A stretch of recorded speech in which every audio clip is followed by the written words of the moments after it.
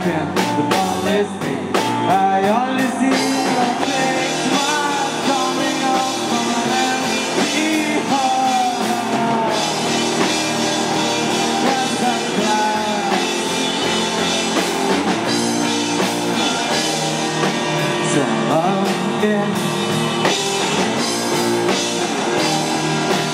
Don't you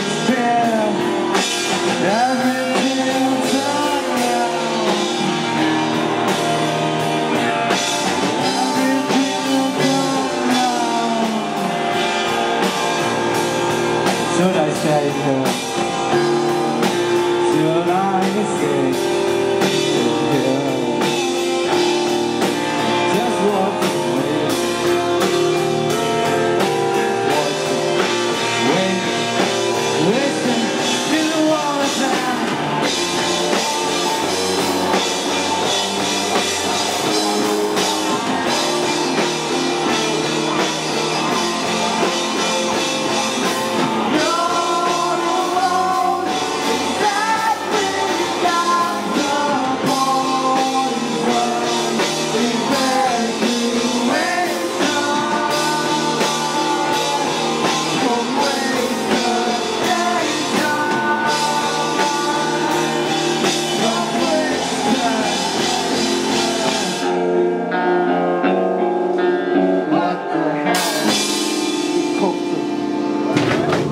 Grazie a te, Giorgio Maghi.